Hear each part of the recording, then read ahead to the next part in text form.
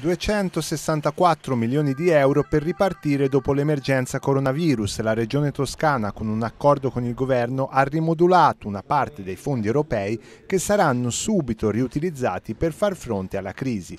Dei 264 milioni di euro, 141 sono destinati a sostenere l'economia, una manovra importante in un momento difficile.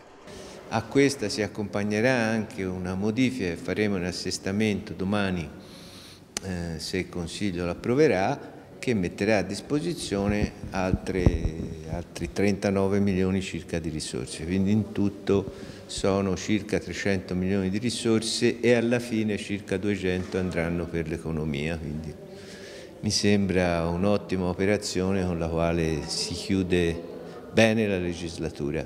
Il piano di ricostruzione toscano dunque parte da qui, con risorse in arrivo dall'Europa. L'intervento di maggior spessore è rappresentato dai 115 milioni per contributi a fondo perduto destinati alle piccole e medie imprese che abbiano sostenuto investimenti materiali ed immateriali.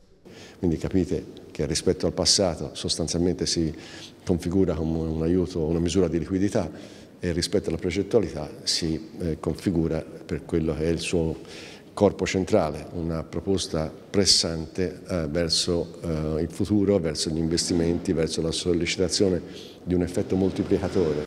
Dei fondi europei riprogrammati, 70 milioni saranno destinati alla sanità, 30 al sociale, 25 ai comuni, 17 al turismo ripartiti in 10 per campagne promozionali e 7 per le aziende che hanno subito la crisi, 5 alla scuola e altrettanti per l'edilizia scolastica e il volontariato.